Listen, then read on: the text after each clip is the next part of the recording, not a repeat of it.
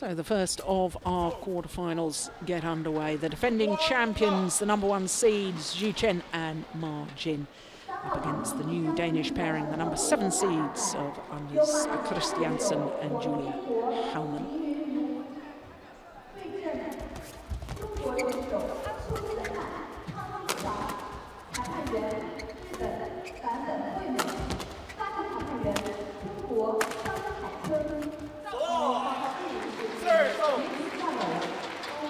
Well, of course, the Danes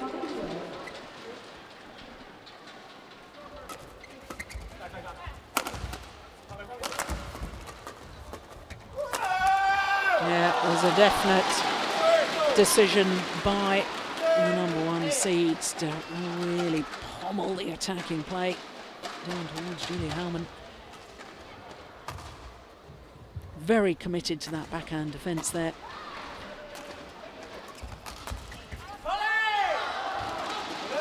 Nicely placed.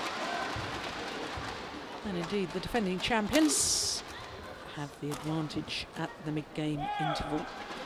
A three-point advantage, to be precise. So the umpire calls for play to resume.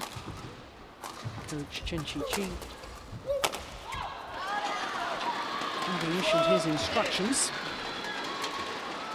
to the world number ones.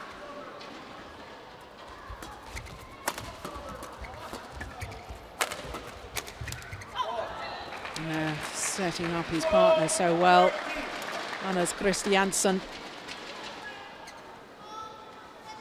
That was the one that did the damage. And then across the body on the attacking plate, across margin.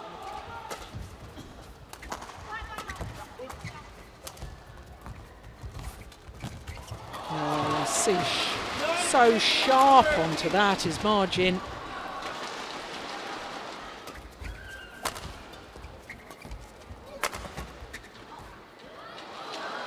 Just wide, convert on their second opportunity. Umpire confirms the score 21-14 and really from that 14-13 advantage. They're very experienced as a player and passing on that knowledge to her players. The second game, number one seeds defending champion Xu Chen and Ma Jin, having taken the first 21-14. We know that they're both very fine players.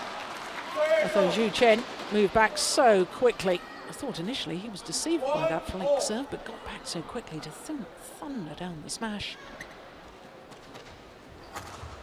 Yeah, hit that with venom. I know that during the final of the Korean Open earlier this year, Xu Chen had a smash at, a, at 295 kilometres an hour. He was one of the game's biggest smashers.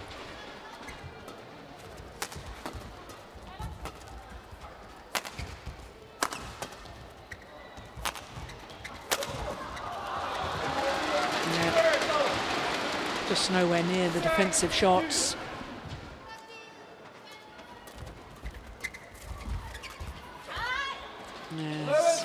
Ambitious shot to try.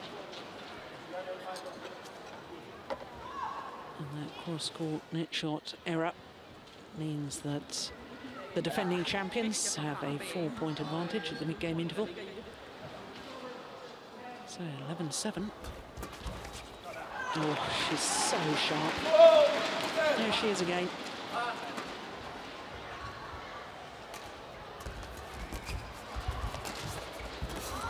Good rally. Oh, oh that went over. Would you believe it? Rally of the match so far. How on earth did Kristiansen get that one back? Still match points, of course, for the defending champions. And this time they convert. 21-14, 21-16 in 31 minutes of play. And last year's champions keep their good run of form going. But I have to say, although Anders Kristiansen is obviously disappointed,